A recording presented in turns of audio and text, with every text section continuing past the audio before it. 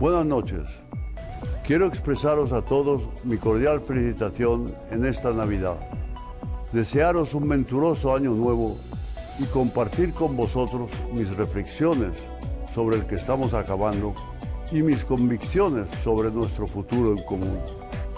España continúa sufriendo los efectos de una crisis económica y financiera de una duración y magnitud desconocidas en la historia reciente de la Unión Europea, con efectos muy negativos para las personas, las familias y las empresas.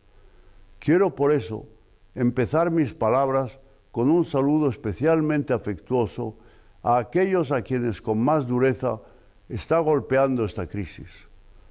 A los que no habéis podido encontrar trabajo,